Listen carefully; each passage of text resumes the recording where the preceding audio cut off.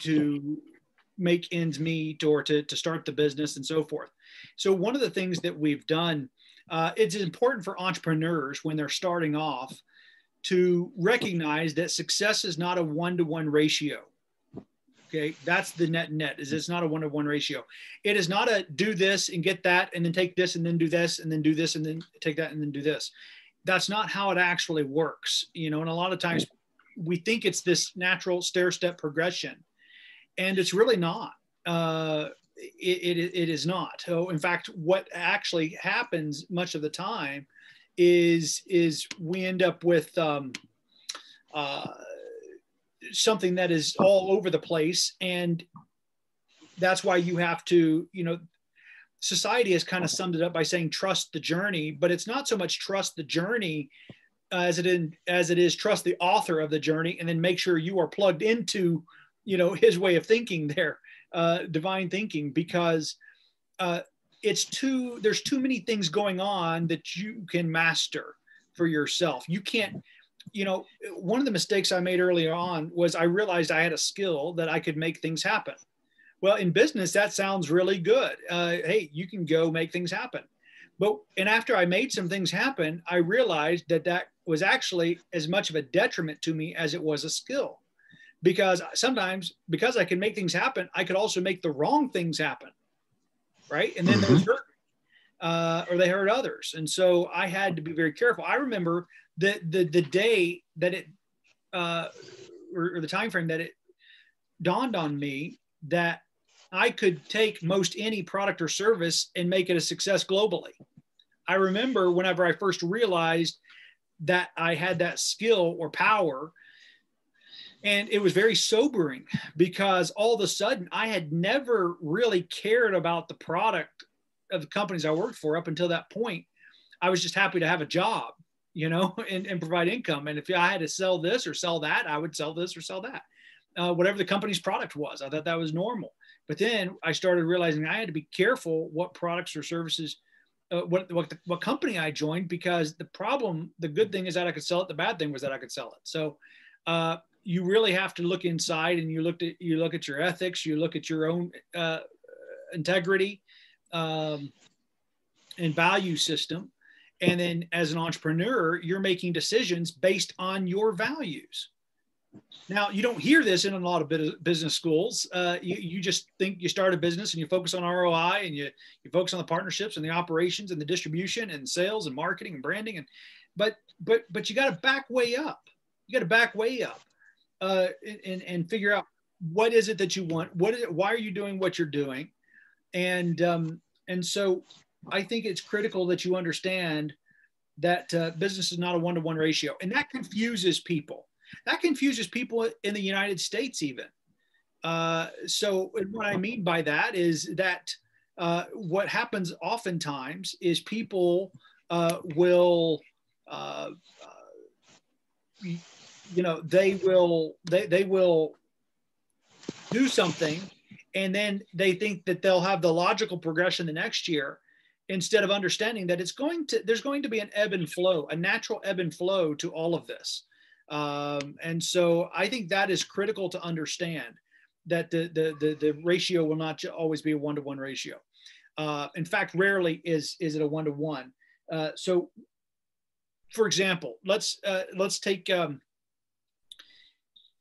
many of the things that I've done in life did not follow the logical progression of promotion. Um, you know, you think because we've been indoctrinated with the corporate world model of you you get promoted to supervisor, then you get promoted to manager, and then you get promoted to director, and then to vice president, and then president, and then CEO or board board of directors. Uh, and there's this logical progression that they talk about However, uh, what I find as much as anything is that um, uh, it's not so much about that um, as it is that you are all in whatever it is that you're doing. It is about becoming excellent in what you are doing. And as you get uh, th- that process of becoming excellent in your area of focus, uh, is what leads to other things there was probably two or three years, maybe even more, but I was conscious of it uh, for about two or three years, where it seemed like a lot of the things I was doing, I knew I was supposed to be doing them, but they were they seemed disjointed. It actually looked like I wasn't focused, and that really bothered me. And so I remember, uh, you know, making sure that to stay focused. Um, I would I would focus on these uh, on the the various activities I was doing. Maybe it was an event over here. It was on this initiative. It was this uh, industry, and then also this industry, and they weren't necessarily complementary industries. And so that was that bothered me. That was troublesome to me. And um, uh, and so what I realized quickly was that I needed to. I, I wanted to be focused. So it was a matter of how can I be focused, and and what I realized that I had to do, what and it's not right for everybody, but it was the right situation for me because people try to say, okay, well, he's an author because he's written some books. Oh, he does speaking, so he's a speaker. Well, I don't, didn't want to be a speaker. Uh, uh, or he does, he has this, you know, he's into artificial intelligence and cybersecurity. Yes, I enjoy that. Uh, but uh, also promote, you know, human rights and obviously uh, women's empowerment, uh, in, in empowerment. and, um, and, and, and mentorship for men and for women and boy children and girl children, uh, girl childs. And, and so, uh, and then my passion, I love entrepreneurs and entrepreneurship.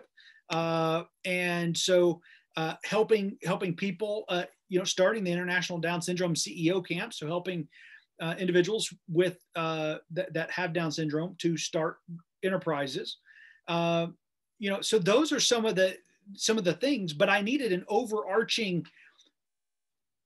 uh, brand, a wrapper for what is this and why are we doing it in this way? And so a brand can do that for you. Uh, and then it also allows you to be focused because everything is contributing to certain things.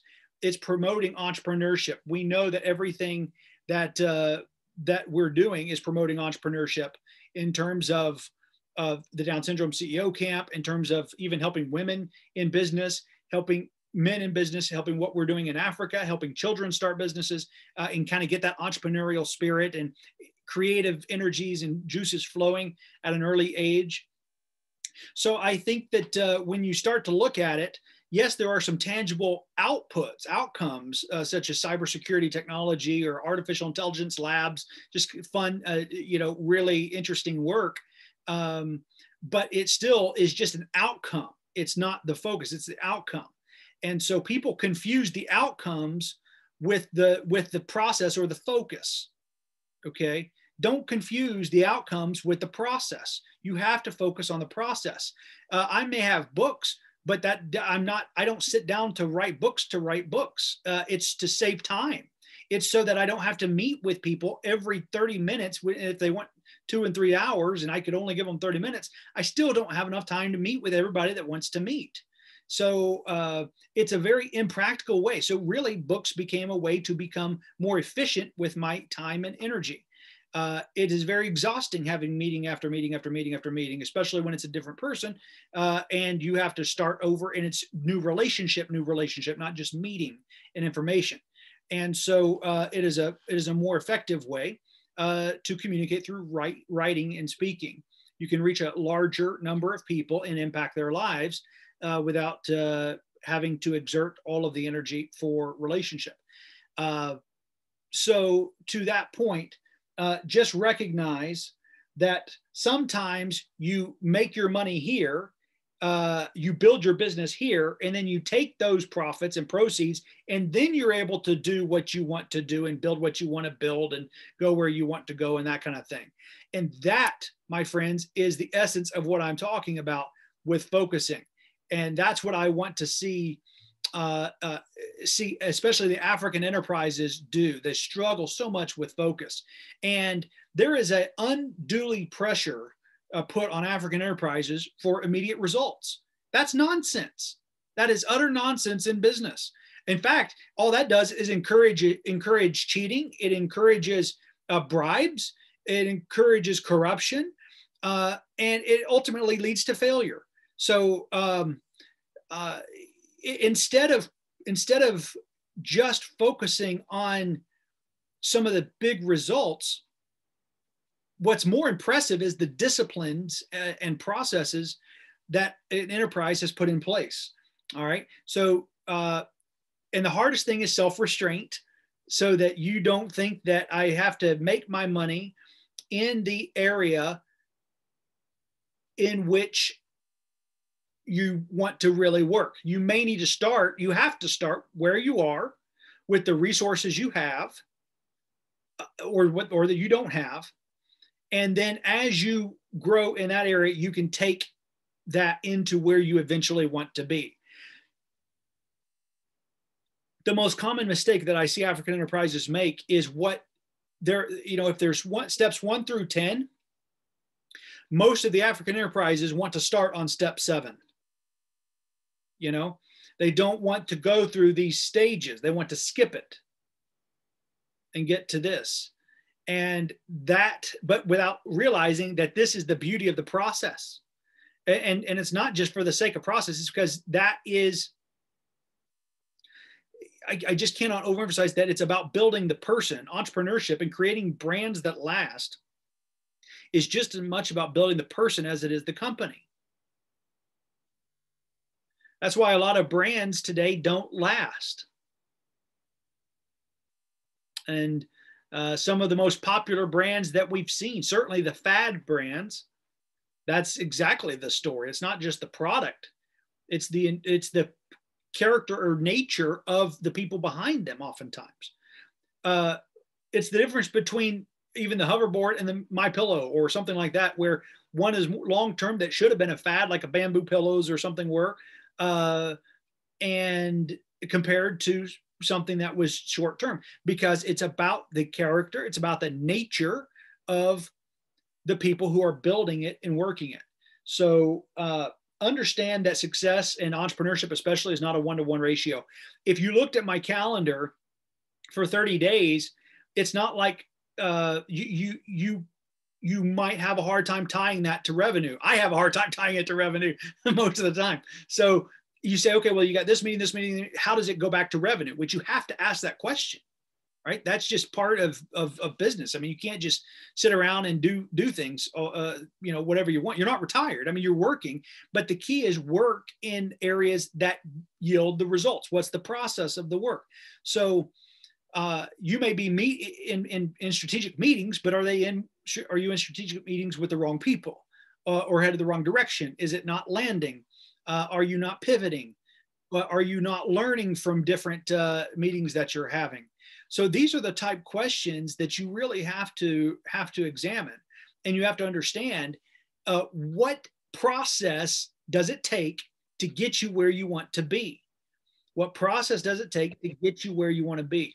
Uh, and then you go to work on creating the process, creating those daily disciplines and the daily behaviors and habits that will get you there. And that that is what will will really go a long way uh, to ensuring your success. So we want to make sure that you each of you have the tools for that. Now uh, I'm going to ha- take updates from your businesses here in just a moment. But um, uh, in fact, actually, let's go ahead and do that because I'm going to close uh, with with three three three things that I think will be a great help to you. So uh, let's talk about your businesses. Uh, somebody go ahead and, and and and show your video and unmute and uh, and, and and share uh, kind of where your business is now and maybe even specifically uh, as you know this year or with COVID and things like that.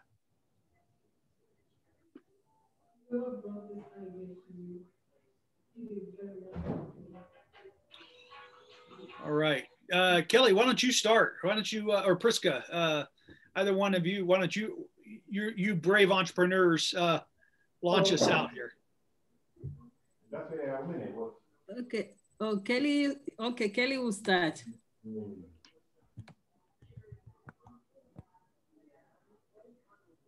Let me unmute Kelly here.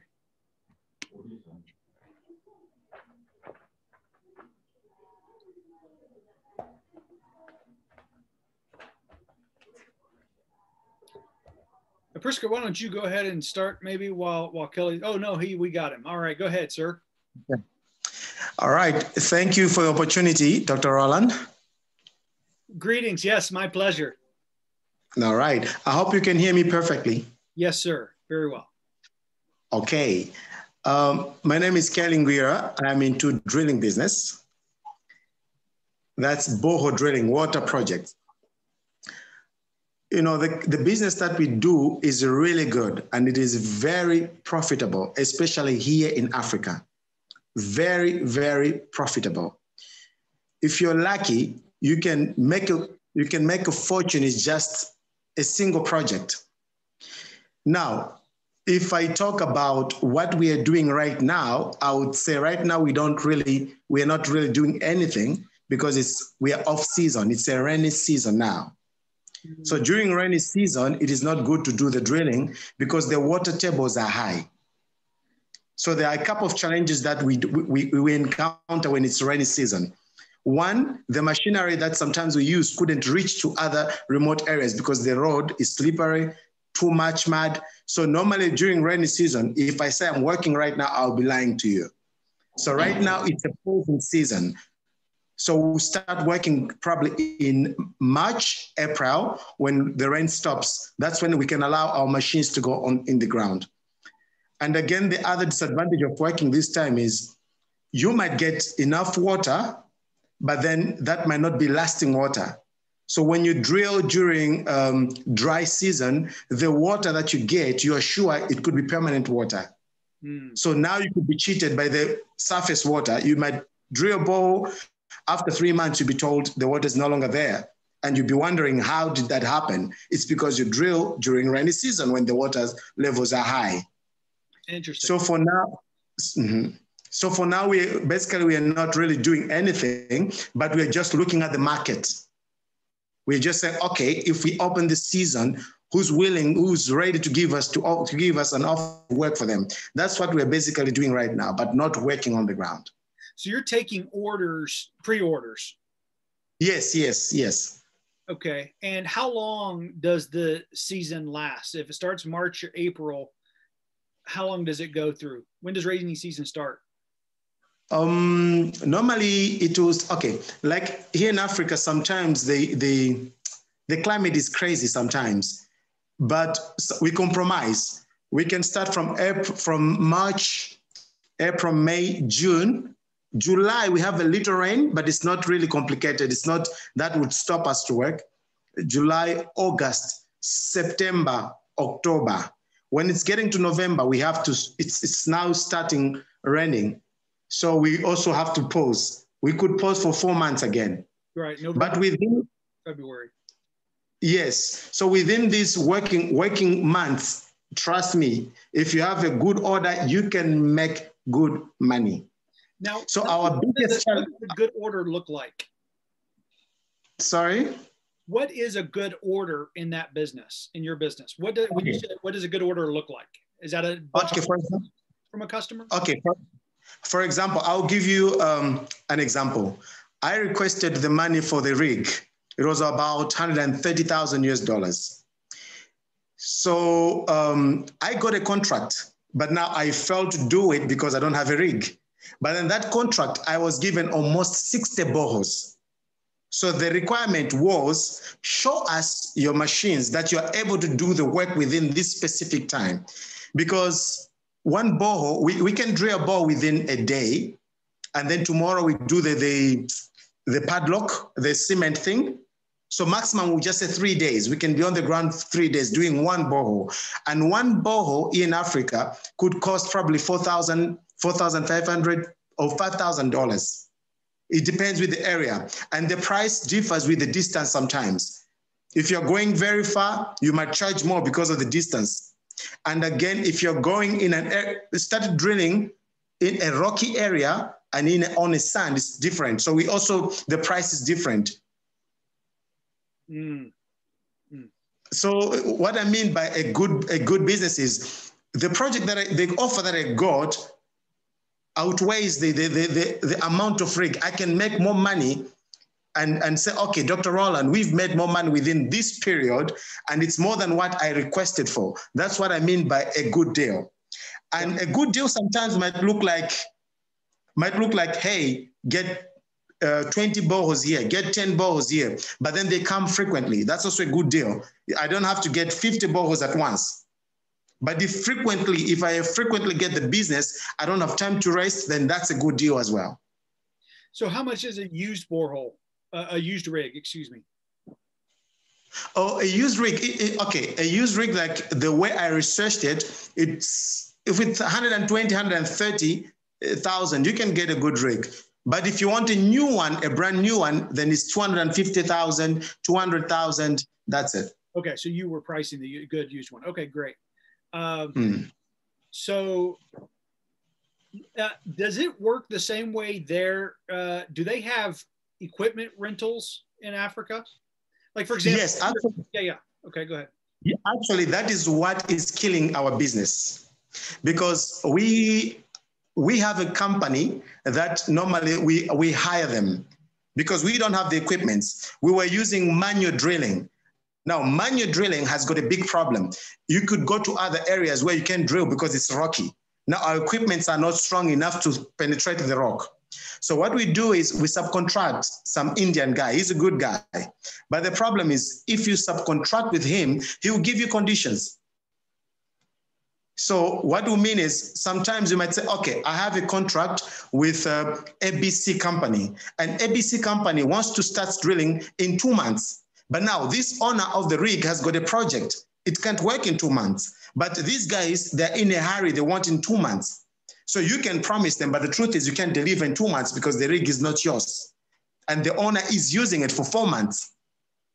So that's a big problem. Well, but you're going to have that problem no matter what, because that's what I was thinking. And, and one of the problems that need to be solved is even if that was your rig and you are, and you had the job that the other owner has, whenever that new job comes in and, says he wants it in two months, you know, you've already committed your own rig to a different project. So it's almost like I need another rig. You, you're either going to need more rigs or you need, uh, people just have to get in line. You know, you'll get your borehole when you get your borehole, and we go by order. You know. Uh, no, but then it's it's different from when the rig is yours because you've you can plan. Right. But then if the rig is for someone, you, you've got no say. You have to flow with them. Completely agree. That's the big. That's the biggest challenge that we are having. The second challenge is um, when we get the rig from that person, he would tell you, I'm going to do the whole contract. I'm going to give you commission.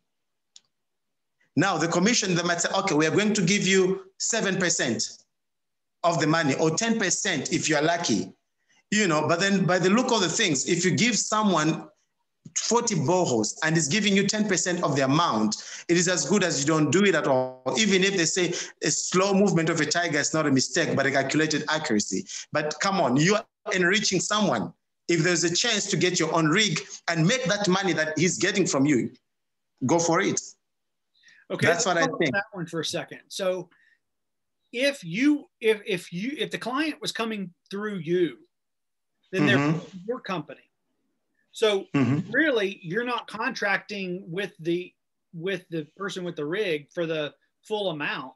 You just go to mm-hmm. that person, and, and if you're the one making five thousand dollars on that job, you go to mm-hmm. the person and say, I've got a job over here. It's $4,000 a borehole. Mm-hmm. Yeah. $4,000.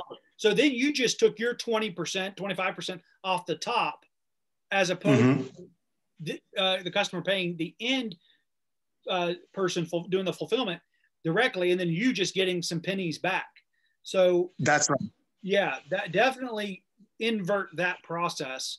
Um, and because the subcontractor needs to get paid from you and you collect from the customer and then you don't have to worry about getting 7% or 10% you've got a nice 20% uh, profit off the top uh, mm. you know so that's a that's a good way of doing it as well but now the problem is the owner of the rig would tell you what how he wants his things to be done we are desperate we want his rig he would tell you i want to get the money in my account i'm the one to pay you well you want the rig He's got the rig. We, okay, fine. Let the money come into your account, and then you have to pay me back my money. That's that's how it goes here in Africa. So let me ask. So you, I can. How, how many mm-hmm. how many rigs are in your area? You're, you're, you're what country are you in? Malawi. Malawi. Malawi. So, mm-hmm. how many rigs are in your area? Well, uh, I can't tell really because there are a couple of companies. But then, like you said, you have to look earlier on when you're starting. You said you have to look at the values. You look at the people that you can click with, that you think alike. You know, so the the kind of companies that I work with that are so recommended and so experienced, they're probably two, if not three. But there is one company that I usually work with, and that person, I trust him. At least that person can deliver. If he tells you next week, he might miss with a week. He's very ethical. But then we still have a problem. We can tell him what to do because he's the owner of the rig. If he's got something planned, then that's it. Yeah. Got it. That's where our challenge is. That's why we said, no, we have to apply for a rig. We couldn't handle that anymore because we've lost some good business because of that. I'm sure. I am sure. Mm. Um, so, but the reason why I asked that is okay. Let me ask one other question. Uh, are there other people like you that would be in the business but don't have the equipment? Yes, yes, there are a couple of them. That much, there are a couple of them. I know them. So, one thought here um, is and going back to what I started off in the beginning, I, we'd have to really think through what's first, what's second, what's third, what's you know. But mm-hmm. uh, I I think you could be in a unique business to not only you know drill some holes, but also rent the equipment. It may be a better business model to rent rigs out, uh, as opposed to even doing the holes yourself. So let me explain. Mm-hmm uh, by that. And then it's not a matter of two, three, four providers, rig providers. Um, mm-hmm. Everybody becomes a rig provider at the, or rig uh, dig their own holes. You almost put the other people out of business. uh, mm-hmm. So, like in the United States, equipment rental is a is a huge, huge business, a high margin business as well. And a lot of people will rent bulldozers and uh, mm-hmm. ditch diggers and you know uh, different types of heavy duty construction equipment uh, mm-hmm. in order to to to, um, to, to go fulfill a job. So a lot of con- uh, construction people are out there advertising their business, and then whenever they get a job, they go rent the bulldozer to go do the job. You know. Wow. Uh, so every mm-hmm. company, every person. Uh, that's why there's so many entrepreneurs in the construction space. It's none mm-hmm. of them have enough money to go buy their own equipment. You know, mm-hmm. sometimes for the first few years. Um, now they may eventually keep saving their their resources and buy a used you know piece of equipment and and kind of get going that way to increase their margin but it's more mm. important to be profitable and to get started than it is to focus on margin exclusively in right. business at the beginning so i and that's what you've done so you're already doing it which is fantastic but mm. um, and here's here's the thought if you made mm-hmm. that your business model then mm-hmm. a lender is more likely to give you enough money for three or four rigs, not one rig. Mm-hmm. You're wanting rigs to go drill holes. Uh, now we're concerned about do you have the right team? Do you have uh, people that you can trust to manage and operate? And what about the risk associated with them? What if somebody gets hurt on the job and uh, the transport to and from and the equipment breaking and all this, as opposed to if you rent that out, then the person using it is responsible. You're protected no matter what uh, in terms of uh, uh, you can charge them insurance when they rent it uh, as mm-hmm. well. Uh, that covers your insurance on the equipment, uh, so mm-hmm. that if something is damaged or broken, you're able to get it repaired. But um, you may make you know five times the amount and and not have to deal with the muddy roads and really customers, uh, consumers are not, uh, they can be quite demanding, right? uh, right. How, how that borehole was put in and uh, what it looks like. And like you said, the delivery, but none of that mm. becomes your issue. Your customers become the contractors themselves who mm-hmm. then rent the mm-hmm. machinery from you. Uh, also, I will tell you that it becomes a, a cleaner business model because you can uh, less hours for you and more hours with your family because you can mm-hmm. be open you know, you know, six days a week, you know, 7 a.m. to 5 p.m. or, you know, whatever it is. And if it's after mm-hmm. hours, then it goes to the next day, you know, for an extra day rental charge or however you end up structuring things. But, uh, but that's not the case in a consumer business where many times they may only be there on the weekends or, you know, uh, mm-hmm. uh, in the evenings, you got to do it when you can or when they're there. Um, mm-hmm. so that also change that changes the request a little bit if you if you add that part. So uh, I would consider that, and we have a lender uh, that I'm hoping to get an update from over the next couple days, or 1st Mhm. of next week. That uh, that that is is a, a lender of these type things, and so it's been very very difficult uh, the last 6 Mhm. months, uh, and and then of course uh, with COVID continuing, which a lot of people did, thought that it would end in August, uh, but then Mhm. where obviously the fall came and it, another round of lockdowns and and uh, you know I know Malawi even locked down the week of Christmas again. You know, and Yep. um, South Africa it just got locked out. The United States nobody can travel there. I mean, which is the I mean it is it is kind of a fresh round of things. So it's very Mhm. interesting from a business perspective. Uh, but I do think that, uh, but but they're reopening now. The branch and the people that we were uh, talking to, uh, Mhm. uh, and so we're hoping to to find out more uh, about them and what they'll require. Uh, but I think they would be a good fit for for you in, in terms of financing um, Wow. bigger rigs. But uh, but you just need to put some thought to that. Uh, what business are you really in? Yeah, and that's a hard question. Uh, I remember really studying for a long time. I would always ask myself these questions: uh, A, what business am I in? What am I really in? You know, Mhm. um, Mhm. like uh,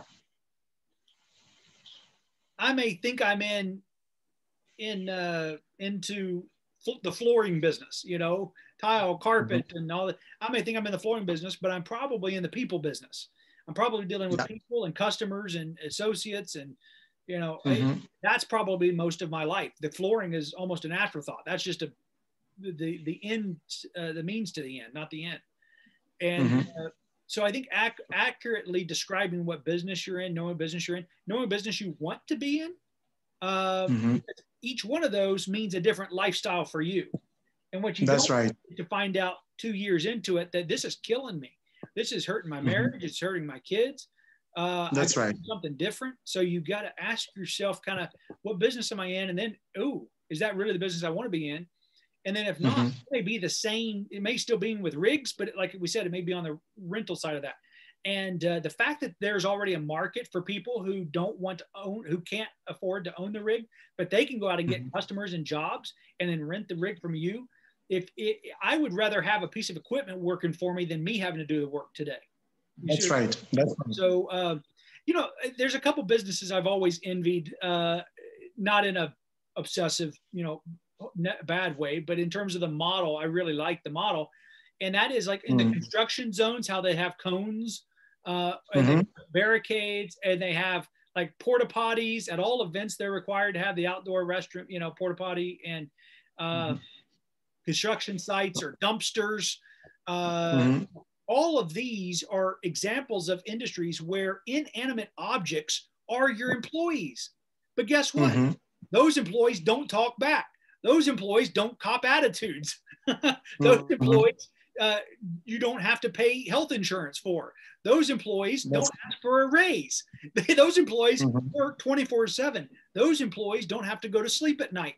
It's a they're, they're the best employees in the world, right? Mhm. So, right. so- Mhm. getting thinking about businesses like that uh, really uh, you know can, can transform what you're able to do that's also the i mean the internet that's why e-commerce is you know i mean obviously Yeah. 20 years strong but that's why it's been uh, so so so uh, incredible and you know in the beginning people didn't trust it was a trust issue uh, Mhm. trust is a commodity and, and and the internet didn't really have it. And since i couldn't see somebody they people were afraid they'd take their money and run. But then it is so developed now that you know you can't hide. If you do some if somebody did something like that there's there's much recourse and uh, certainly the negative publicity and and ads and so forth. Uh, so so yeah i think those are some some ways uh, to, to think about this uh, and hopefully that hopefully that helps um, Very helpful. Very helpful, Dr. Rollan. yeah, I, I really like it. I'm glad we were able to explore, uh, dive Mhm. into your business because especially understanding the seasonality. Uh, Mhm. eh, eh, let me leave you with this one uh, bit of wisdom as well that uh, I was taught. Mhm. And that is, uh, do you remember hearing about the gold rush uh, in, in California, maybe uh, you, you all have so much gold in Africa, maybe not, but in America, we had a what they call the California Gold Rush, uh, and mm-hmm. I think 1800s or something, late 1800s, and uh, uh, everybody that wanted to make a buck, right? The, all the entrepreneurs, uh, they would sell their farms, sell what they had in the east, and they'd travel out west and uh, and, and and to seek, you know, to strike it rich. Mm-hmm. And, um, obviously, most people lost everything because they sold everything, went and spent all the all the money, and never, you know, struck gold, wow. and, you know, that kind of thing. But they, but but here's the principle in business that they mm-hmm. say from that: the only people who make money in a gold rush are the people selling the picks and the shovels. Hmm. The equipment to okay. mine for gold. What you're selling is the hope and the potential to go make money. You're selling the instruments. So a whole lot of other people that may never strike gold, you're selling the picks and the shovels to go dig for gold. Most of them never will. Mm. See, so it's better to sell sell the, a means to an end for people, especially when mm. the end is is there's two things that you're feeding. There's only two reasons mm. why people buy anything. Um, you know, it, uh, it, it, can be the fear of missing out, uh, what we call FOMO, meaning if I don't mm-hmm. buy it right now, it's gone, and there's only one like it in the world, and so if you know they, they buy it that way. So, or it's two, but really simplify it. The two reasons people buy anything is to avoid pain or gain pleasure. Mm-hmm. All right, they people the only reason people buy is to avoid pain or gain pleasure. Mm-hmm.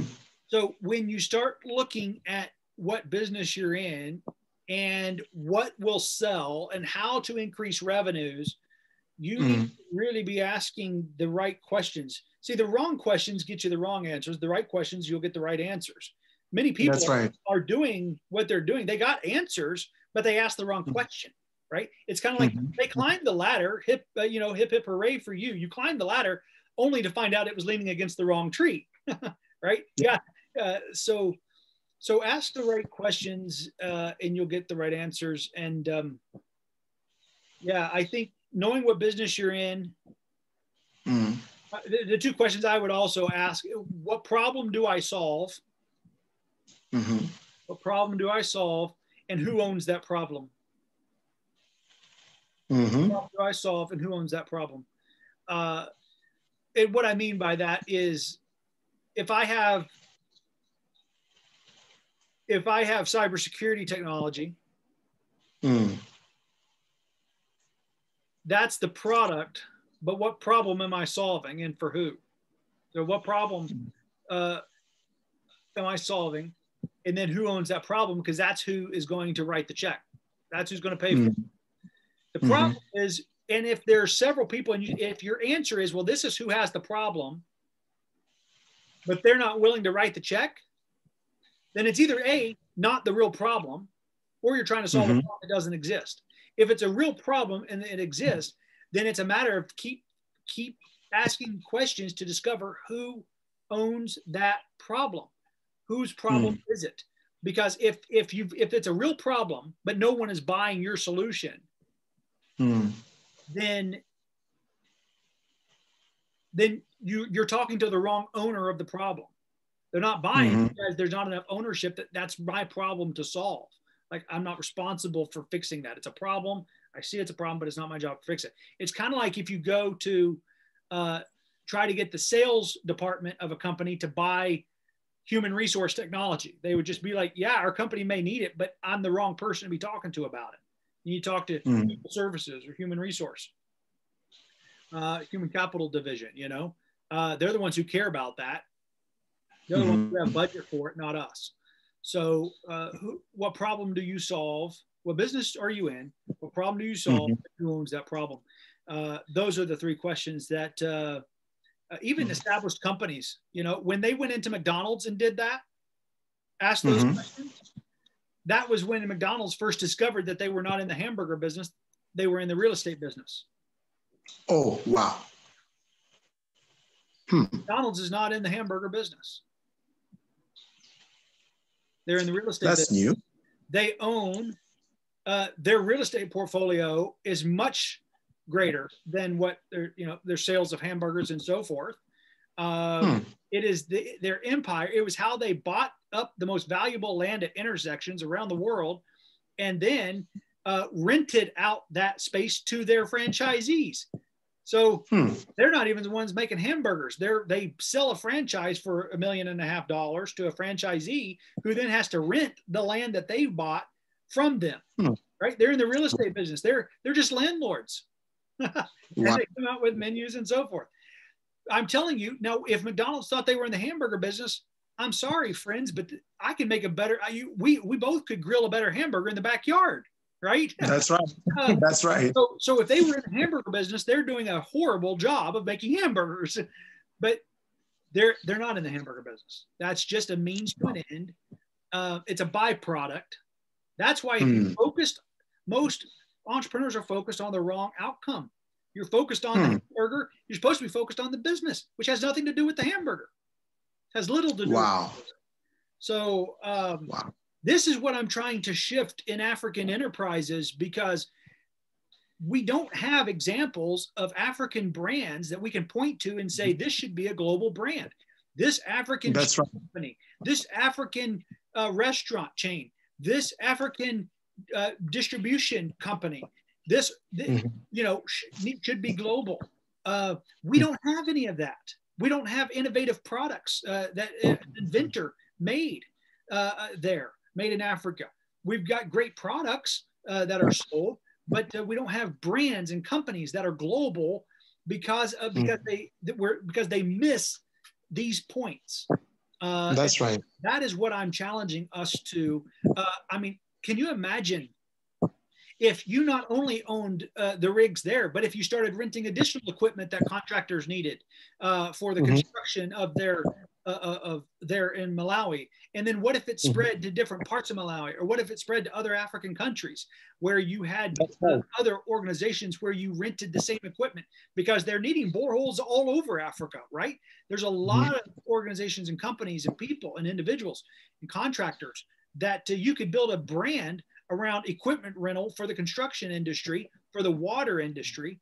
Um, you know, so uh, just some things to think about. So thank you, Kelly. Thank you so much. That was been Thank you very much, Dr. Rollan. that's good. We have so much. We have we have so much to talk about, but I will give a chance to my friends too to to to, to explain their business. I would love to learn from them too. Yes, absolutely. Thank you for that. And uh, I, I uh, will be uh, in touch as we hear on the lenders um, Mhm. and uh, also, uh, you know, Water for the World, uh, the partners there in, in Africa. As you have the equipment to do it, I, I like you said, getting business is not the hard part for the business you're in. Uh, Yeah. and, and you may have to drill some boreholes before you and make enough money to buy a second rig yourself or a you know what I mean? Yeah, or, or, or maybe Mhm. we get enough funding for two rigs um, and you're going to use one and rent the one out whenever you're not using it but you eventually want to get to where you're renting out all of the equipment that you have uh, that's a much more sustainable business model and it makes let me say this and, and we'll close but this is good for everyone it Mhm. makes your on a business valuation Mhm. when, when, any outside company or an accounting firm comes in to say how much is your business worth Mhm. not all revenue is created equally okay That's right. if your business is doing a million dollars and Miss Priska's business is doing a million dollars, it is not equal. Mhm.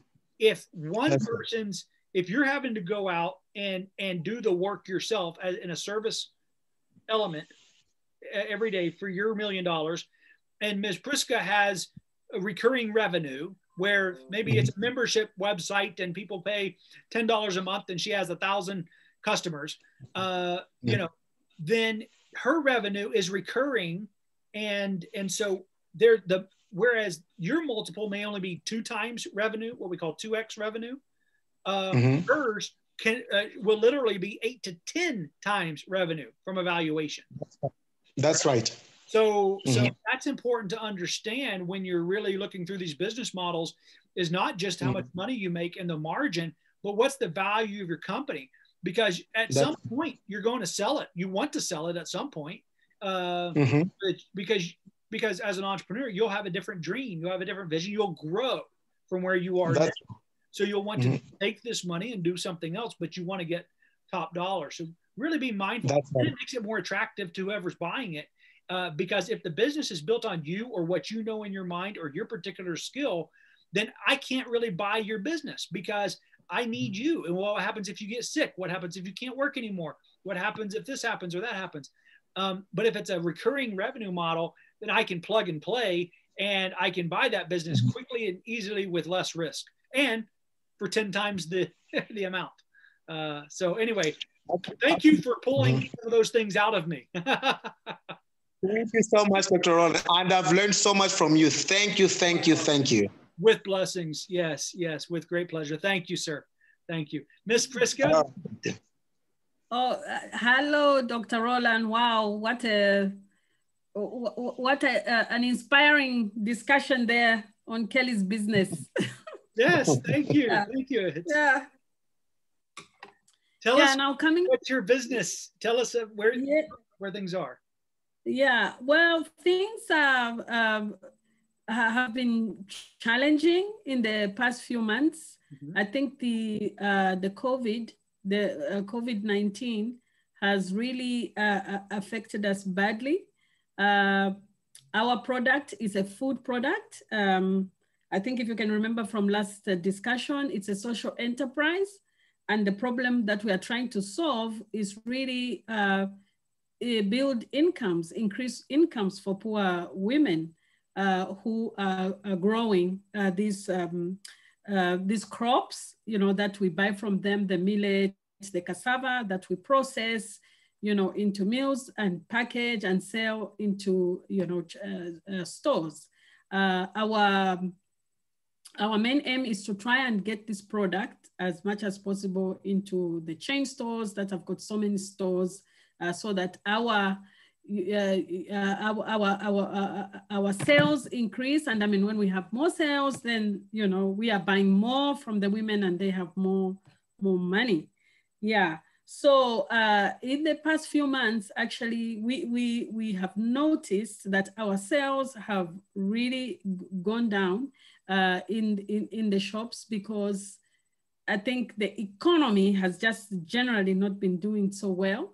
So the buying power of people, you know, has affected even our product because I can't, um, I wouldn't uh, say that I could uh, place uh, cassava uh, at the same level as maize meal, for instance, that we, you know, we eat uh, all the time.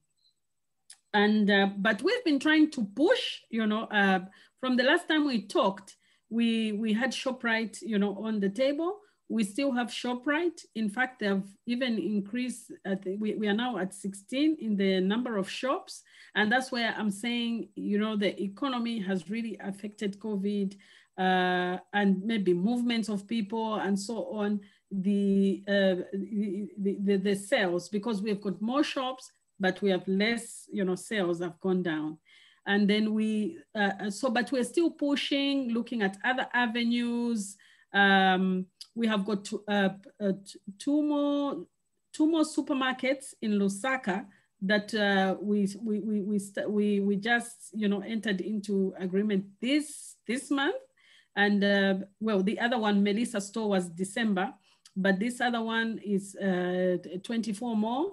It's uh, it's this this this month, and they have actually given us a shelf. Like, they've said, this is your shelf. This is where you put you know your products and so on. So that uh, seems to be uh, it seemed to be really good you know for us that we can be able to have that shelf and put you know our products and we are waiting to see how that market is going to grow then we are still in discussion uh, with uh, Zambeef. Uh, this is a, a, a, company that started with selling beef, you know, and several outlets all over the place, like more than 100 outlets. Uh, but now they are selling other stuff as well. They are selling mealie meal, they are selling, you know, other things. And so we, they were not selling our products. And so we went to them with that idea and say, well, why don't you include cassava and millet on your, you know, and so it's been an issue of discussion with management and things are looking good. I just, uh, you know, pray and hope that uh, they will not take this good business idea to somebody else. So we are still in discussion uh, with, with management. We also looked at another avenue of uh, uh, uh trying to sell in bulk. You know, in Africa, we have got these markets, you know, marketplaces where these women, you know, sell, you know, in market stores and things like that. We realized that part of the market uh, I mean, traditionally anyway, the, I mean, the way our people have bought cassava and millet is at, at the market. You know, as I mentioned, these things, these crops, uh, uh, these, uh, uh, you know, uh, things are just really going now into upmarket shops where now people are buying convenience, you know, well packaged and looking good and so on.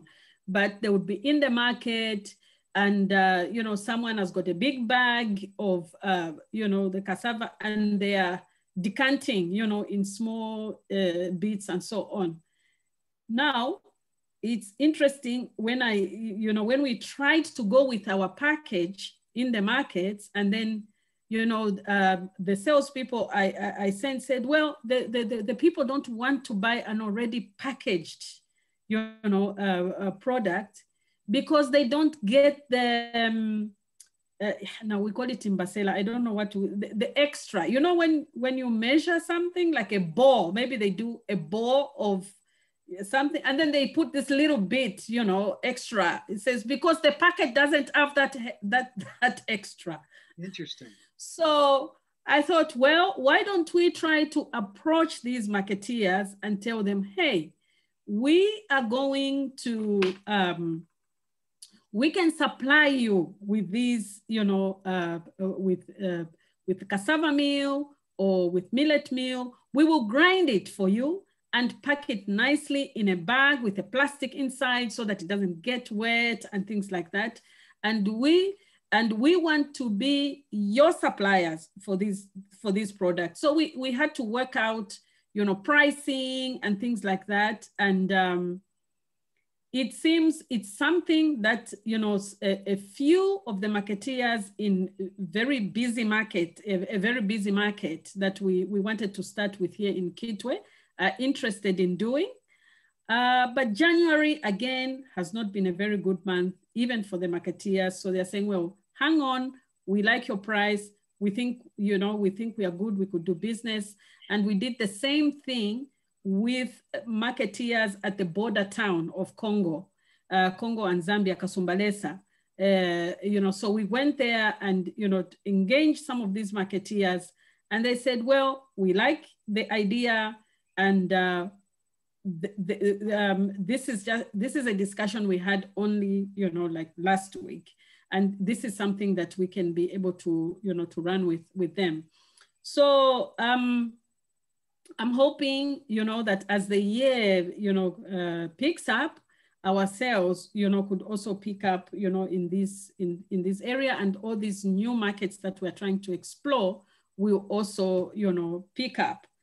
Um, in terms of, you know, the challenges that we have and that that we really we are trying to address is the factory space, as I mentioned last time.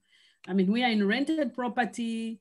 It's a it's a small space uh, we, we, we, we need to, uh, to have inventory to store, you know, our products because these things are grown seasonally, you know, like the millet. So you have to bulk buy and store them and, uh, uh and then, you know, keep using them over um, uh, uh, during the year. And then the other aspect is the, is the equipment. Now, this is where we, we, we wanted to buy the, um, the, the, the, the auger filler uh, so that we could include other products, you know, other, other millet products, other cassava products, uh, such as, you know, instant porridges and uh, uh cereals, uh, you know, that you could put maybe a granola mix or something like that so that we increase our product range um, and have more take up of, of, of our millet and our, our, our cassava. Yeah, so I think that's it. Mm-hmm. Yeah, no, that what an update. Thank you for sharing. Um, a, a, few questions, and I, I, I may have asked this uh, prior. Uh, what is this storage life, uh, the shelf life of of the product if you had more storage? Uh, about a year.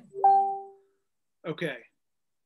Uh, so, and you're on what? What part of Zambia are you in? In in in Kitwe, on, on the western uh, side of Zambia, in Kitwe. Okay. How yeah. far is that from Lusaka? It's about seven hours, six, okay. seven hours drive from Lusaka. West of that. Okay. And you're west of Lusaka. Okay.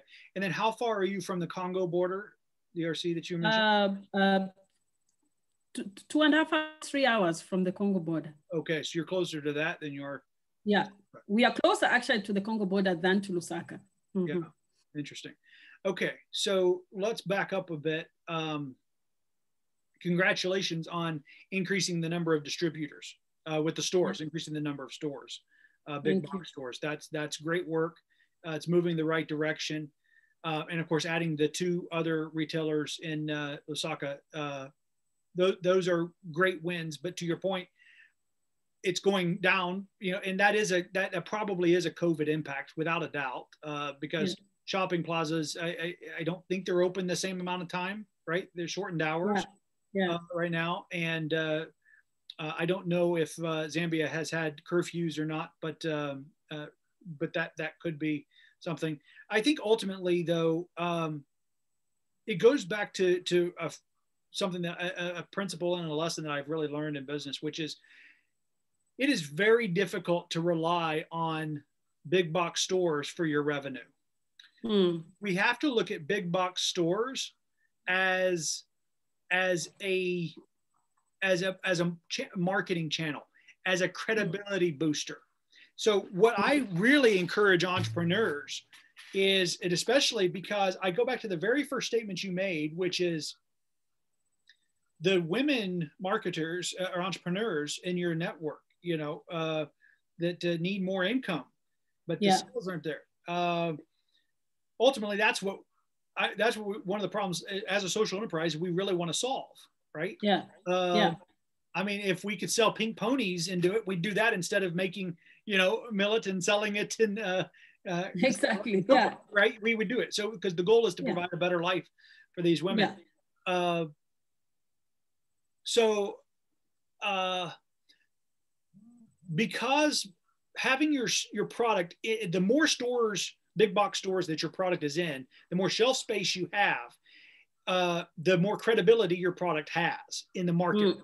Okay, outside of those stores, even if a very small percentage of your revenue comes from that. Some people even view their big box uh, products as loss leaders, uh, meaning we don't even make anything or pennies on that. It's these yeah. other. It's how we leverage being in there. How it's how we leverage that credibility that creates the revenue.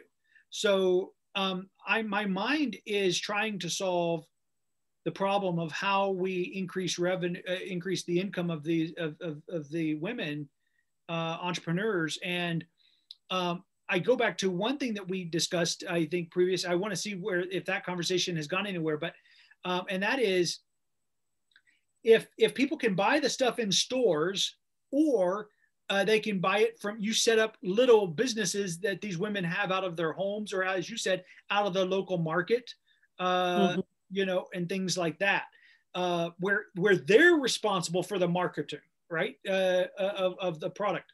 Um, so I want to to talk about that. Uh, have, have we been able to empower some of those to where they're able to buy the big bags um, of, of ground uh, source and ground material, uh, just like the shopping stores that you mentioned want mm. they want that little extra um, and i think that's a great idea um, mm. and and there's absolutely a market for that uh, and i'm just going to i'm just going to put a few things out there and then i just want you to kind of respond on all the on, on the different things um, mm. I think about like peanuts and produce. Uh, many times, yes, there are some packaged peanuts, but there's always these sections at stores where you can go dip, uh, you know, yeah. choose the amount that you want. And to your yeah, point, put, yeah. put the extra few in there you to feel better about it. But you charge by the pound instead of, you know, by the, and it's cheaper for everybody to do it that way. Yeah. Uh, produce, you know, I love jalapeno poppers. Uh, we take jalapenos, cut them in half, put some cream cheese and, and uh, beef and uh, then sprinkle more cheese on top and yeah. you know and put it in the oven and it's it's delicious. But i like to choose how many jalapenos go in and you know that kind of thing.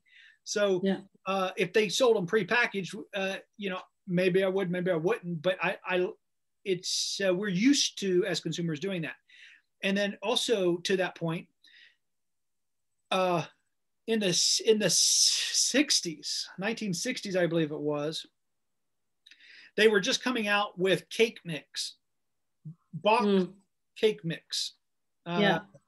And it's where you literally just mixed it with water and put it in the oven and it made the cake. Yeah. Well, they could not sell it. They nobody would uh, the women would not buy it and they couldn't figure out why and you know different surveys and what have you they what they ended up realizing is the reason that product is because they knew people wanted convenience so they made it super convenient. But then yeah. there was something they didn't count on, which was uh, women felt guilty using it because it was too convenient. They felt like they hadn't put love into making this for their family. So what the what the company did was they actually changed the recipe so that it required you to add usually one egg. One uh-huh. egg. Add one egg. And once they changed it to where it was pre-made, but yet you had to do one thing, yeah, two seconds, all of a sudden that made it feel like you made the cake. Mm. There's that emotional need that that consumers had uh, uh, back then, and so to this day, if you buy a cake mix, you have to add an egg. Yeah. But it was because people weren't buying it if you if it was already done for you, pre-made. So yeah. I say that to your point of w- with these shopping stores, and they want the little extra. Listen to the consumer in that because it's the difference between it nothing selling and, and it going like crazy because it can be an hmm. experience. It may be an experience for the for the boy or the girl child that's with the mama when she's yeah. shopping uh, where yeah. that becomes their job. They get to scoop it out, and it's fun for them. Uh, yeah. Uh, and it's engaging for the family. So I think there are some some things like that that uh, you definitely want to. We would say it here like a, gamify it. Uh, mm. and, and really, what I'm meaning is just create an experience around purchasing your product at a supermarket or at the big box mm. retailers. Create an experience around mm. buying your product. And if you do that, it will help the sales tremendously, whether they need the product or not. Uh, they end up buying product just because and finding uses for it because you know the boy or the girl wants to scoop it out and in order for them to behave in the grocery store they're not going to do it until they get to go scoop out some of your product you know uh, so uh, and maybe it's a fun con- color container that they like to paper mm-hmm. bag or plastic you know that they uh, like to use, or uh, maybe there's a sticker that comes with every single one for the for the children. You just want to create that supermarket experience um, mm-hmm. that makes it more about the uh, you know the experience than just the product. The other uh, aspect to that is uh, I, I'm going to jump back now to the income and also just to sales during this time. Um, and that is if you had a hundred women around the country or even in the Congo, different countries, that you were able able to ship, they could buy it from you wholesale by the pound, and you ship it to them, and uh, and then them resell it mm. with the model that you've given them, either to stores, supermarkets in their area, and chains, or uh, uh, or at the really prefer the business model would be at the local uh, like supermarkets, uh, farmers markets. Uh, you know, the ones with the pop up stores where it's a like a parking lot or the corner, uh, uh yeah, a corner, yeah. street corner or something, and they set up their, mm-hmm. you know, their wares.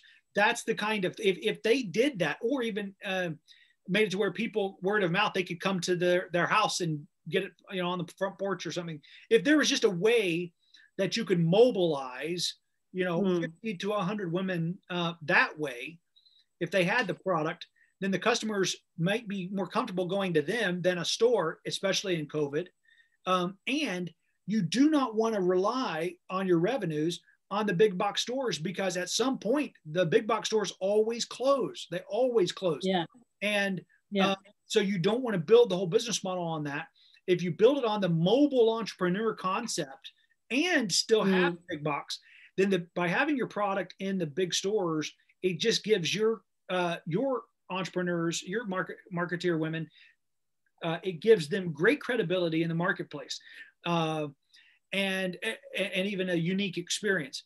And I would also say this. Um, I think they they then get to control their they can control their own sales and destiny based on how hard they work, based on how much they promote and market where they will be, that they're consistent at being there at this time, this day, this time, this location, you know, and those kind of things. It gives them more control over their income.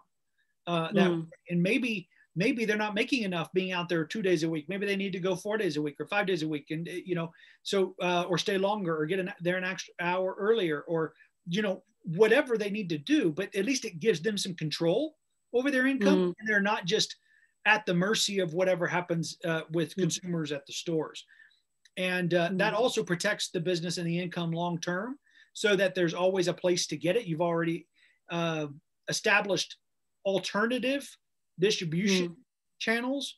Um, you know, that like they say, um, dig your well before you're thirsty. you know, build out these channels before you need them. Um, uh, mm. I, I, really I really like that because you could quickly grow into other other markets and I mean uh, other mm. geographies and, and and so forth. So it's yeah. the consumer experience. It's empowering the female uh, marketeer uh, in the market that they are in, in the different locales, and serving them and giving them a business model that they can choose how much money they make based on how hard they work, mm. how much they sell. Um, and here's here, the last thing I'll say on that is what I love about that uh, is when a product becomes popular from the ground up, as mm. opposed to top down. Ground up meaning what we're talking about with the female entrepreneurs. Mm. Uh, top down being from like ShopRites, you know, and it's in the mm. big box stores, so mm. they kind of they kind of push products on people. Uh, yeah. So, but an organic ground up product where mm. people just want it and they'll buy it from people on the corner. Uh, what happens is, as that is successful, big box stores everywhere want to carry it. so it's going yeah. to make your job uh, it, it, mm-hmm. much easier. In fact, they yeah. start calling you. You don't have to convince yeah. them. Yeah. Everybody wins in that model. Your business is stronger. By the way, your margins are higher and healthier because they're coming to you. You're not having to go to them and take their margins. See? So, uh, yeah, those are some thoughts. What, what do you think? Yeah, thank you so much for those thoughts. Actually, you know, Dr. Rollan, there's um there's an Indian man who he's a big entrepreneur. I mean, big guy, you know, doing all sorts of things. Uh, a friend of mine introduced me to him, and every time I meet that guy, I always learn something from him. So mm-hmm. I remember when he came to the factory, he said, why are you selling to the big box stores? You know, like, like you're saying, I don't sell, he does bottled water, he does all sorts of things. He says, I don't sell to them. You know, when I started making my sacks, I went to the market, you know, to Sokoni market. And, you know, he says, it was a disaster in the first place, but I went to them. And finally, as you are saying, you know, those guys are now coming to me. I mean, I went to them and now they're coming to me. And these guys, you know, they, they, they, they, take so long to pay you. They will take 60 days, you know, but when you sell to them, uh, you know, to the marketeer, you will get your, your, your, your, you know, your money instantly. But, you know, that time I was looking at uh, ShopRite and say, wow, I mean, 30 stores, if I can get my products, you know, in 30 stores, why, why, why can't I just, you know, focus on there? And then the last time I met him, he, he was asking me, how are things going? I said, oh, things are, you know, are not moving so fast as I want them. And says, then he asked me, who eats cassava meal? You know, and then I say, well, it's people like it's, it's my friends. That's why I said, well, my friends. And then he says, well, sell it to go to the churches, you know, go to the churches and and sell, you know, your, your cassava there. So um, now one thing I have learned from you, which I want to, which, which, which I think I will scale up in terms of this, you know, uh, uh, pushing this single market is have a target and say, you know, I need 100 people, you know, to sell to the churches, to do door-to-door -door sales, you know, to, uh, to, to sell to the women at the market and things like that. Because I have started doing that actually. I mean, I've been talking to, uh, you know, uh, uh people uh, and say, hey, would you like to, to sell, you, uh, you know, cassava meal? Because if you, if you get a bag and you sell, you, you know, you sell, you, you, you, you sell these bags, you, I'll sell it to you at this price. And it's up to you, whatever markup you want to add there, you know. For me, in fact, I, I've been offering them and saying, I will give you the, you know, like for instance, I would say, I'll give you this bale, you know, which contains maybe 10 one kg packs. Go with it and sell it and just bring me, you know, uh, my money. And then once you bring the money, and then we'll give you the second bag, you know, and and so on. You know, that's the. So I've done this. Model. Sorry. That was the newspaper model. Ah, so I, have done this for for for a, a few people that I know, but I think from what you have said, I need to scale up on that and be, you know, uh, affirmative and have a target and say, I need to get to 50 people or 100 marketeers who are going to do this. Already there's a, a, a, a woman in Lusaka whom I just delivered yesterday three, you know, bells. She's got this little store and she was selling rice, you know, she was just selling rice. And then her mom said, hey, I mean, maybe, I mean, the rice is a cereal. Maybe if she adds on this, you know, the, these two other products, I said, okay, I'll give her a few uh, uh, samples. So she was visiting her daughter in Lusaka and she, and her daughter called and said, these samples have gone, you know, can I please have, you know, and, and so we have started a line there, you know, with her. And so I think I need to, to really firm up there and see how many 50, 60, 70 people can be able to push you know, in uh, this market, you know, like this.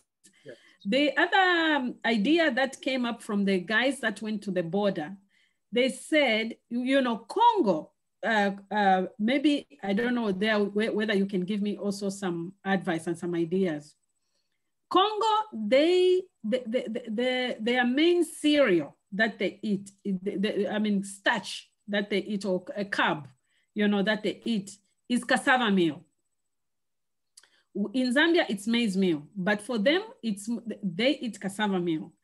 And apparently, they don't have it processed in the shops, you know, like nicely packaged, uh, uh, you know. So what they do is people just pound the tuber, you know. So if you're having a cassava meal that day, you get the tubers, you pound it in the mortar, and then you have your meal.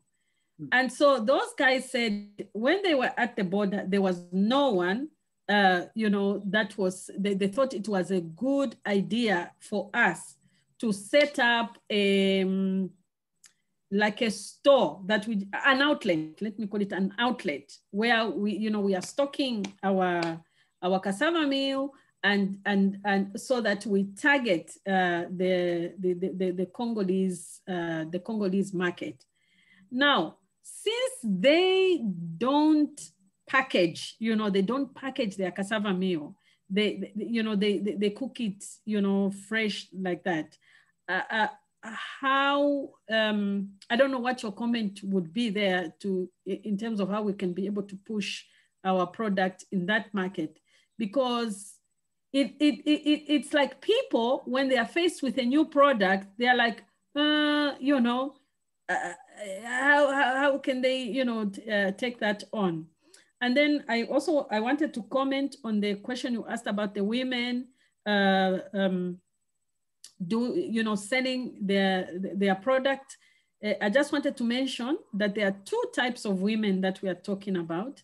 There's the rural women and the peri-urban women that, who are actually growing these products. Mm. And, and, and that's why we are, we are targeting these products because they are grown by these poor women and we want to raise you know the market because they are low input they are you know the, the uh, they are they, they, they are low input and now people are increasingly becoming interested in in the products uh, because of their health benefits.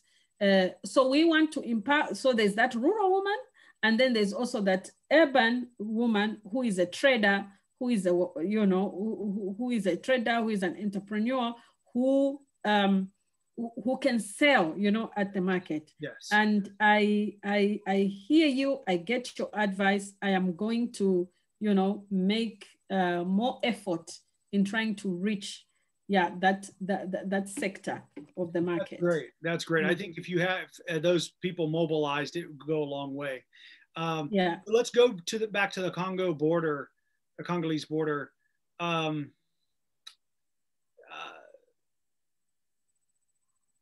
so a couple thoughts, and I'm hoping the yeah. second one comes back to me.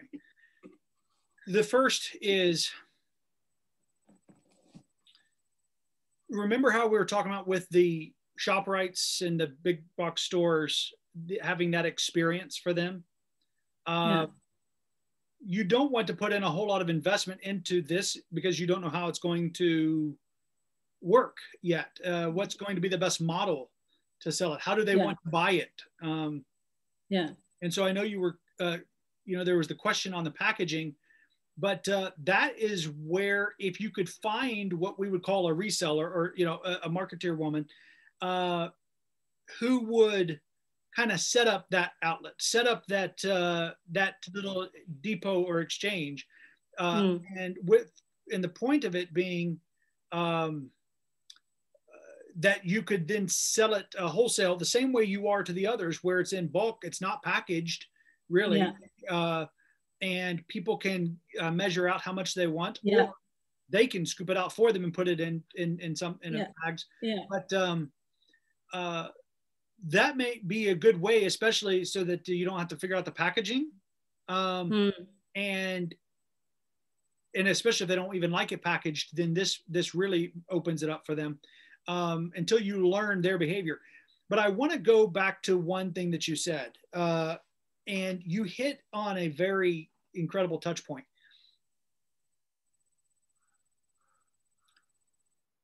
When you're coming out with a new product, mm. or introducing a new product. Yeah, it's uh, new to that area or or not new. Uh, there are different types of sales uh, that have to be made. Uh, in some places, you are having to do what what we have talked about as an educational sale, meaning yeah. they're not just at the grocery store and then add cassava on there in some markets because you're like you said, it's just kind of an extra, it's an add-on. They use it sometimes and they maybe not sure mm-hmm. when to use it or how to use it. It's kind of a newer delicacy in their area. But then you go to a place like the Congolese border and it's a staple. I mean, it's, yeah. the, you know, for the health food, the health benefits, it's what they have. So, um, uh, or even instead of maize, you know, maize millet. So you do not have the educational sale components at the Congolese border that you will have in these other locations. That's one of the why you have to create more of an experience uh, yeah. in these other places uh, you have to create that experience for them because you need to engage them long enough to educate them on the product yeah. health benefits so while they're scooping it out they've got to be able to see read a few of the health benefits uh, on the on the the packaging or on the display uh, case that's holding it. Uh, you, you know, the box that it, maybe all of the, they can drop that plastic insert in to dip out of, but you've got marketing bullet points right there in messaging. Mm-hmm. Uh, so that's an educational sale.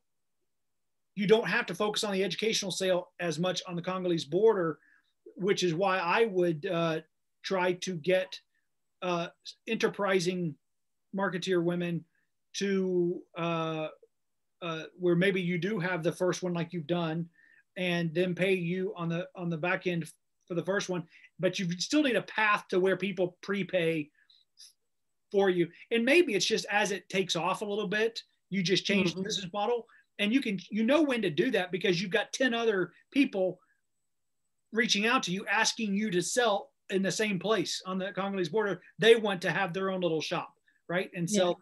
so then you know okay it's this amount for uh, you. I charge this amount for this for this many uh, CGs or KGs, and um, uh, you know, and then when you pay, we ship, and that's you know that's how it works. And anytime you yeah. just you reorder, you reorder. So you yeah. can move from the model you have getting started to a prepay model. Uh, okay. And, and, and and but as quickly as possible in all the markets, you want to shift that, you know, to a to a yeah. prepay model. Um, yeah but I think it's going to be a lot easier on the on the border because you don't have that educational component yeah. to the sale. Yeah, yeah, yeah, yeah. And here's the other reason that I think you're going to experience great success by in being intentional about focusing on your female marketeers in these other markets, uh, because it does require an educational sale in many of those markets. And so if it's coming from a lady who believes in it, then while while she's talking to her friends and those in her community, she's telling them about the benefits and how how people mm-hmm. love this and how people are using this every uh, elsewhere and the health benefits that go with it. She's educating because people buy from people they like and trust. Those are the two things. People buy yeah. from people they like and trust. So, uh, in a store like a, the the big box stores, they may like and trust the store, but they don't know about your particular brand because you're one of yeah. the products on the shelf. So having a face specifically tied to your product in these regions where uh, where it's not an, an, everyday staple in their diet, uh, it's you're going to increase the sales in both the stores and uh, for the individuals, which obviously all benefits the rural woman uh, mm-hmm. farmer. Yeah, yeah, yeah. Mm. Yes, indeed. Good, good. Well, I think that gives us a few things to work on for the next few weeks. yes, yes, yes. Thank you so much, Dr. Rollan. Thank you for those. Uh, my pleasure. Thank you, Ms. Priska. Thank you for the work that you're doing uh, for so mm-hmm. many uh, women uh, uh, in Africa, in different countries, and just uh, you're, you're an inspiration. You're a real inspiration. All Thank right. You. Yes, with pleasure. Any other businesses uh, that want to? We have time for probably one more, and then I have some closing remarks. One more business. This is your chance. Just unmute and uh, undo your video and update on what's going on.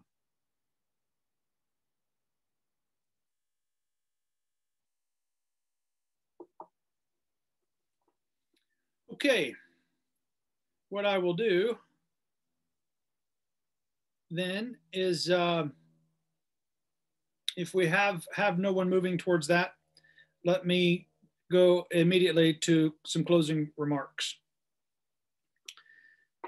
We, we opened up talking about focus and uh, understanding that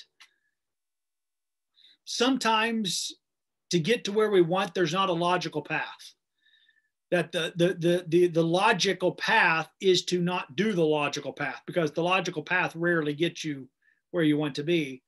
That the, the, the only thing logical in this life is to follow him and as he leads you, um, which could seem like he's leading you in the complete opposite direction of where you want to be. Uh, but you can know and rest that that's the only way to actually get there. Uh, in fact, sometimes whenever it doesn't make sense to me, I'm actually at the most peace because I know that it's something only he can do. and uh, because I can't get it there. And if I get it there logically, then it can be undone logically. But if he does it uh, supernaturally, just by through obedience and following and doing, you know, using the wisdom that he's given us, but not leaning on our own understanding, uh, then then that's how we can ensure that we take the right steps and paths. You've heard the story about people selling their business for $600 million a week before the market tanked. The whole industry was just gone. And if he had waited one week to sell his business, he would have lost out on $600 million. Uh, I hear the same thing with different thing investors. I hear uh, some made a move, they held on too long, and then they lost it all. Or they sold at just the right time at the peak, and it's not going to be that way for another 50 years. Uh, it might be real estate that they sold. It might be stocks. It might be other types of financial instruments, uh, businesses. Um, uh, you know, there was a business that uh, whenever I was a, a, senior executive at a, a, multi-billion dollar publicly held company, they uh, the company they purchased a company, and it was uh, I think it was it was between 45 and 50 million. I don't remember if it was 45, 47. I think it was just shy of 50. Um, and the guy went and bought a yacht and bought a house and bought all this stuff. It wasn't three months later, and there was a law passed which basically outlawed the very thing that he had built a business for the previous 20 years on that made it worth the company buying for 50 million dollars. And uh, so, you know, those are the kind of things where you want to make sure you're not smart enough, and neither am I. That's what we have to first acknowledge right? We're just not. We, we can't, we don't know what we don't know. We don't know the future. We don't know what lawmakers are going to do. We don't know what new strain of COVID comes along tomorrow or what new strain of whatever new disease that shuts down the world. We don't know. The only thing we can do is trust him and obey and follow with the best we know to do today. Um, which there's plenty that we should do and be today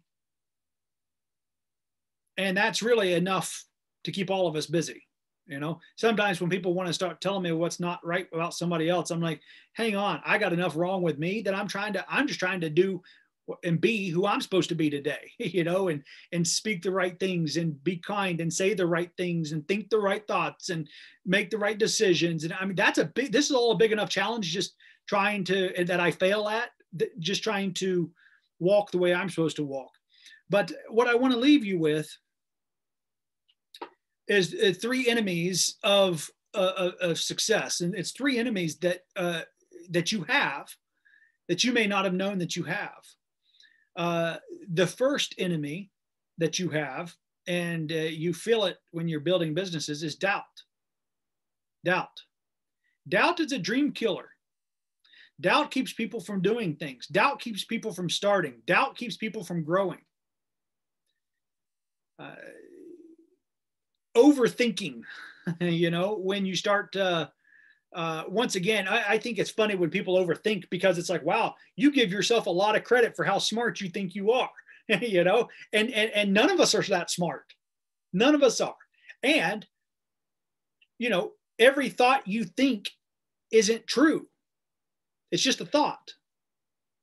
It doesn't make it right or wrong or or, or invalid or or um, you know the the the the level of truth to which that statement is is measured um, by by divine standards, not by what you think or whatever. It's just a thought and that you and we're supposed to bring our thoughts into captivity. You don't just you know uh, daydream. Uh, you think with intention.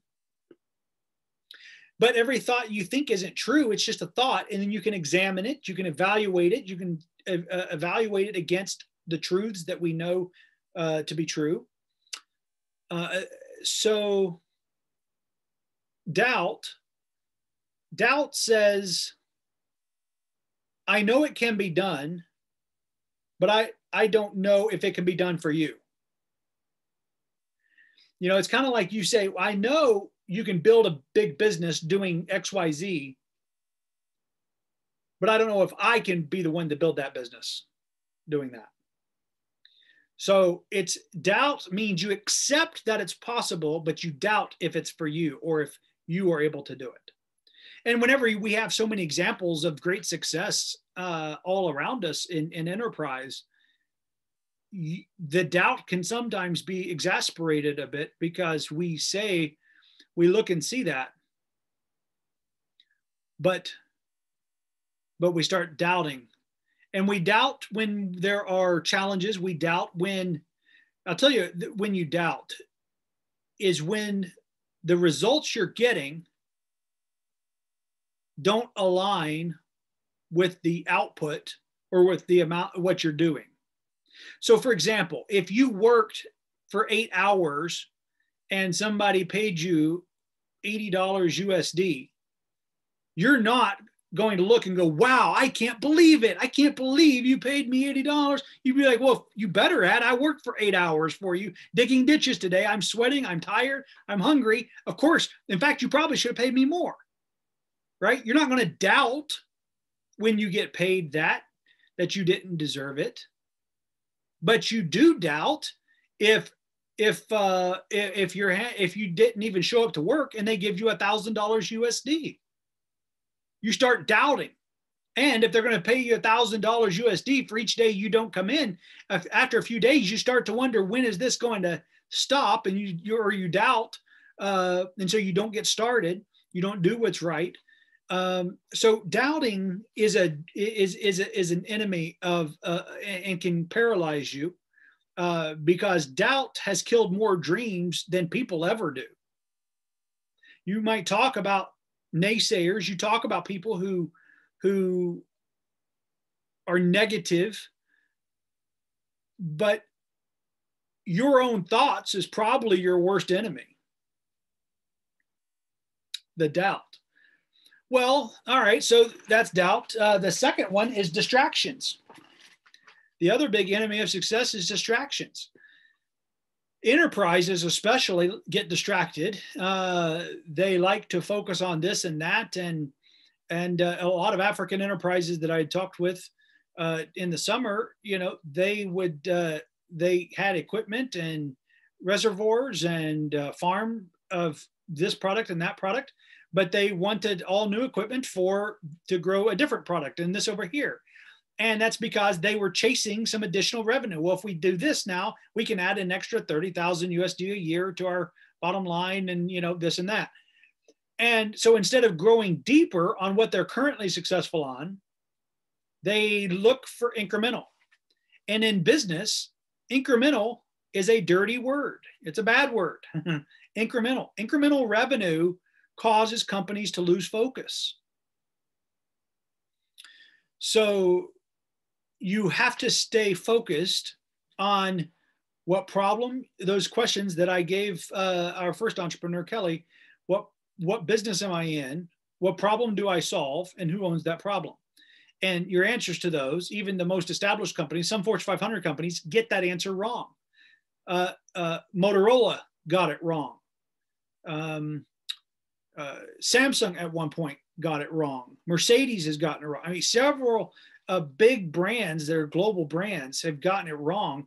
Uh, even McDonald's, they when but once they realized what business they were in, uh, as we discussed, then they are able to focus on growing to business they're really in, and they are a household name globally. Uh, so. Uh, and then the so distractions be careful and distractions may not just be chasing after incremental revenue distractions can be entertainment distractions can be the tv distractions can be, uh, you know, going out uh, without it being in its proper place uh, in terms of frequency and so forth. Um, it can be a, a poor use of friends. It's just distractions. Good things can be distractions. Did you know that?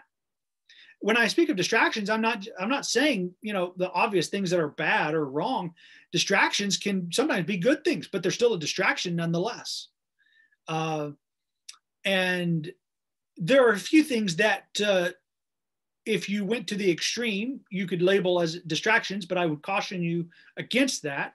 Family being one kids children being being two your faith church and, and serving there number three or actually uh, number one but i'm, I'm saying those are just some uh, immediate uh, areas that uh, will take you away from your business but is not a distraction uh, even though it is time away. It is much needed time away. And quite frankly, it will make you better in business when you're grounded.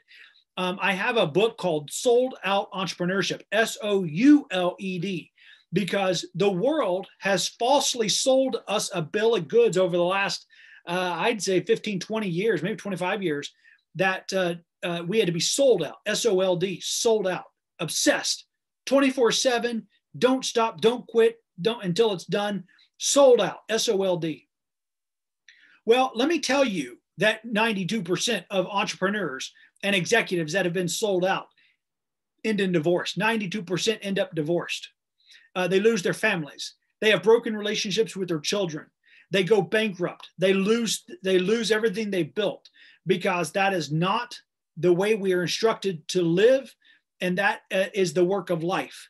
Uh, uh putting undue priority on this is devastating in the long run. Uh, effective in the short term, devastating in the long run. Uh, so I choose to build for the long term. Uh, children, family, church, my faith, you know, those are not distractions. Those are investments, eternal investments um, that extend beyond this lifetime.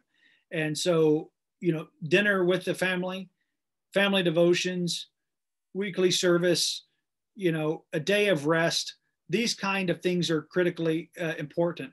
And I will say regarding rest, rest is not a prescription for the weak. It is a tonic for the strong. It is something that you can use uh, to build your to build up and to have strength and clarity of mind. And uh, we have divine example of, of the necessity of that. So that is where i wanted to to to share with you the three enemies. Doubt distractions which can be good things not just bad things they can be good things.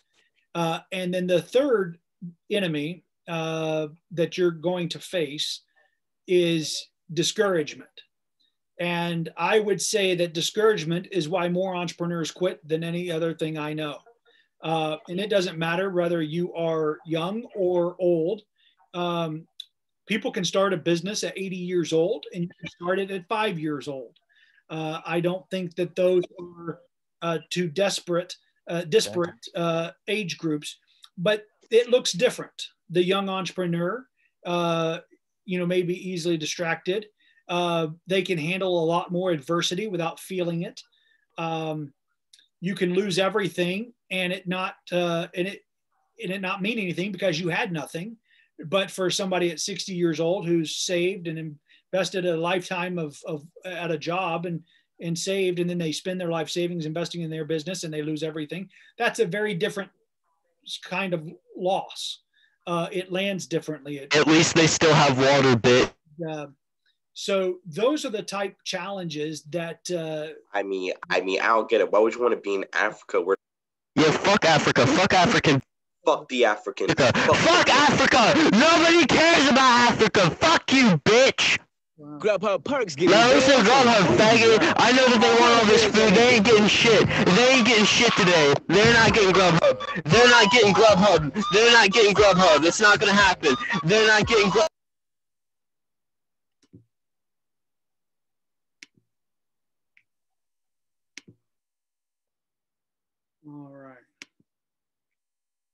All right, we have uh, made we have made uh, Zoom aware of uh, of this intrusion, and uh, we we did admit those because we do not know who who all comes on our open calls like this, and so um, uh, I think that just gives you a testament to the power of what we're talking about and discussing here.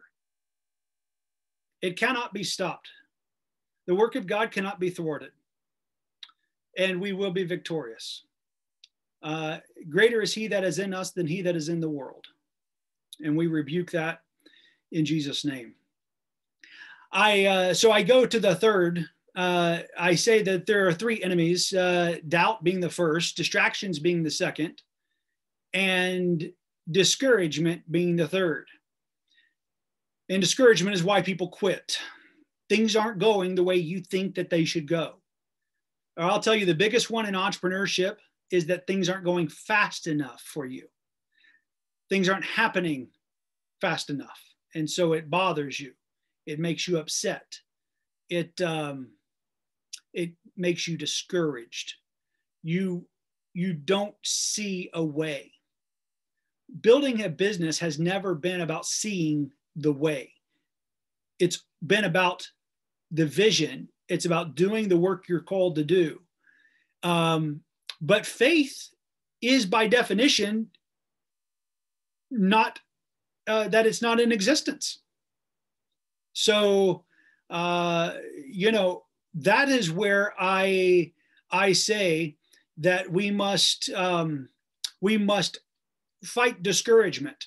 Now, it's okay that I think a thought, but once again, if I keep thinking about that thought, then what it does is it um, if I dwell on a wrong thought more than just that initial thought, if I don't bring that thought into captivity quickly, then it can saturate in my mind. It can lay on my head and my brain, and uh, and next thing you know, especially if I'm by myself, uh, I can I could get discouraged, and I could say, "Why am I doing what I'm doing? Why am I doing all of this? Why am I tired? Why am I pouring out all of this energy? Why am I doing this?" And it doesn't get me what I'm looking to do. And and so we start to get discouraged about where we are. And I'll tell you, one of the challenges is even when you're successful, discouragement often comes right after you have done something great. Uh, I, I, there are so many examples of this. I, I will just say briefly. Uh, number one, I remember an Olympic gold medal gymnast who, after she set a world record and a United States record with with of gold medals, um, in gymnastics, uh, she entered a death spiral of discouragement. Deep, the discouragement led to a deep, dark depression. Uh, it, it makes people suicidal. And so it is, it is in that respect that, um, you know, that we realize that you have to guard against discouragement it uh, it is inevitable, but it is also possible that you take that and bring it into subjection the moment that the thought and the moment you start being discouraged. Elijah, after he had one of the greatest miracles on Mount Carmel, became discouraged. Um, uh, I remember after I spoke in the Great Hall of the People in Tiananmen Square, Beijing, China. I remember after that experience getting back to the United States and going, okay, I'm done. now what? Like you, how do you, you don't top that. How, how, what, what could possibly happen? What, where could you possibly be invited? Like nothing tops that. Now what? It's easy to get discouraged in those moments because I remember thinking, I'm too young to have hit my peak now. I mean, if I hit my peak at 40 years old, I, I 38 or whatever, I, I was 30, like I was, I was 38 years old. I, I, so I just had the highest, you know, peak of my uh, career or success. And now I've got to live for 40 years talking about what was. That's discouraging. That's depressing uh, I don't want, I want to keep having things to look forward to, not constantly looking back. Uh, and so I think that is so important to recognize and to understand that um, that discouragement comes to us all, but it is what happens when it comes to us that we either power through and propels us through that uh, towards uh, where we're supposed to be. I think discouragement helps keep us humble. If we process discouragement properly, it goes a long way in humility. And that's what is desired for all of us. And Miss Priska uh, Kimbole, I appreciate uh, uh, she remarked, I get discouraged and even think about selling the equipment that maybe I should not have started in the first place. Exactly. Exactly. Those are the kind of things that start to happen when things aren't going right. And I've done all this, I've invested in this. Maybe it wasn't the right way. Maybe it was the right time. Maybe I made something happen I shouldn't have made happen. And we start questioning, and, and, and some of those questions can be good um, as long as we guard it leading into the that's it, I'm done. I'm done. I'm out, tapping out. Uh, it's too much. Um, that is the time where we say, I can't, but he can. We let go. We, we, we surrender to him because that, that is the, the, the power. That is, that is the place I think he wants to get us to, to where things are too big for us and we ha- it has to be of him. That way we don't get all the glory we're we don't we're not out there promoting us uh, and what you do or what I do. It's just doing what we're supposed to do today, with what He's given us to do, uh, where He's put us to do it, and and and and trusting that process. That's why I can, if I live by the results, then I would be discouraged most of the time. But if I live based on, am I following the process today that he's given me to follow, then every day can be a success. Every day can be a success because it's not based on how much money you make. It's not based on how many widgets you sell. It's not based on the outcomes. It's based on did you do and did you be who you were supposed to be? Were your words, your thoughts, your meditation it was all of this aligned and appropriate and proper and right and if and if the answer is yes you're going to sleep very good tonight knowing that the same god that took care of you today will be taking care of you and leading you tomorrow and and when you have that level of surrender but yet you're working diligently you're working hard you are moving forward just like in events like the huddle that we have from time to time. The, this is the work. This is the work of life is to stay doing the right thing when you don't see the results. Um, I'll close with this illustration. If every time you made a wrong decision in business, uh, or even today, if every time you made a wrong decision on how to use your time, I could give you immediate feedback that took you to success without ever deviating. It would take you to success like this because just like a hot oven, a hot stove, if you touch a hot stove, you go, ouch. And guess what? As a child, you learn, I'm not doing that again. But life doesn't have that. So even if this is life, we've got bumper rails, we don't have the hot stove to say, nope, get back over. Nope, you're out of line, get back over. We don't have that immediate feedback in business. Sometimes we don't know if a business decision is successful for a year or 10 years. Much less, uh, you know, I was I was talking uh, with someone earlier today, and we were looking up. The average person makes 35,000 decisions per day. 35,000 decisions a day.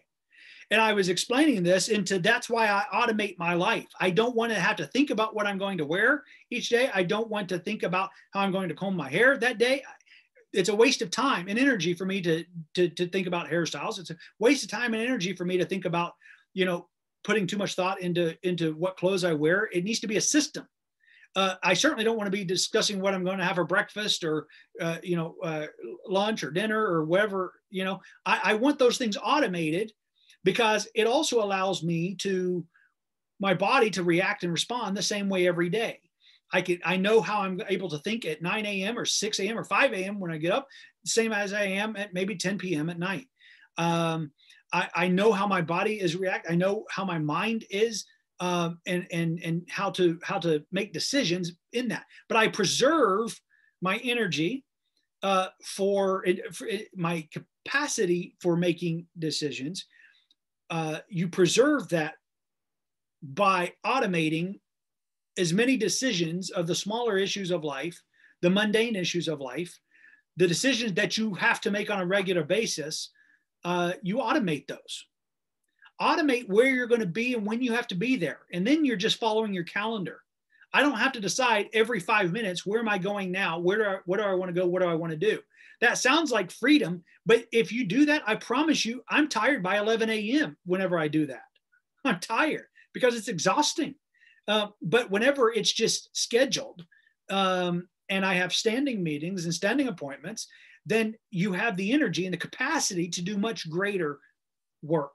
And so that's what I wanted to just leave you with is that guard against doubt, distractions, and discouragements. Doubt, distractions, and discouragement.